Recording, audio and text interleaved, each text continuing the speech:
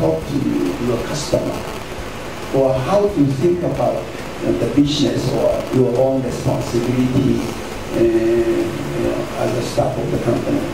They don't tell you. And they don't ask you to copy. It's very funny. You know, in other words, you have to find out a way how to copy those things.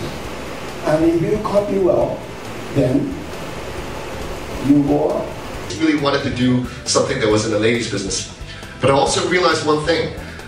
I don't understand ladies' products because I'm not a lady.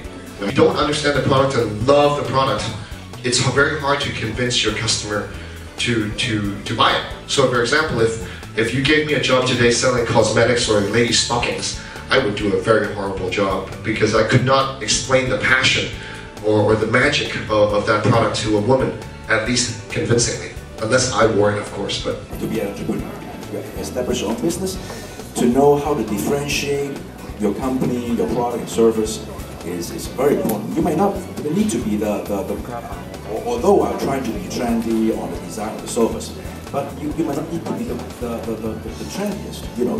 And more important is to, to be different. If, you, if trendy makes you different, then you, you want to be trendy for, for, for the product and service that you're providing.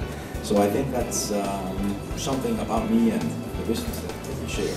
I think one has to be very precise, and I don't think you can be more precise because you know, or as a designer, you really should know what you want, you don't want. What I'm saying is, you know, you better know your business well before you go into it, or at least you believe that you know very well.